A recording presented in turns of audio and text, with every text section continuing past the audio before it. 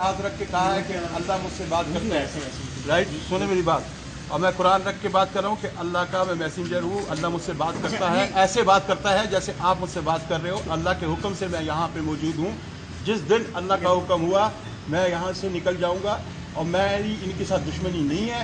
ये सारे के सारे विदाउट लाइसेंस इधर डिप्लॉय किए हुए हैं और ये सारा का सारा गेम अभी जो हो रहा है, ये प्लांटेड गेम है और ये ये सारे के सारे इसके पास ना तो लीज डॉक्यूमेंट है।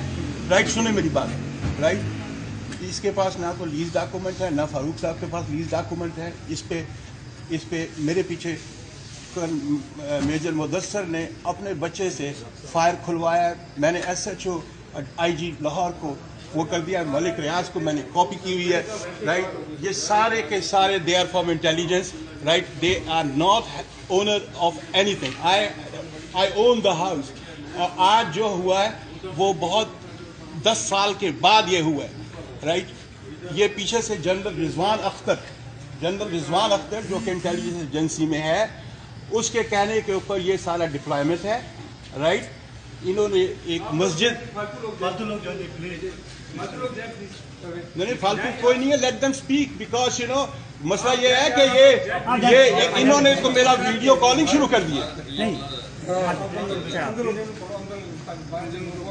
आप जाएँगे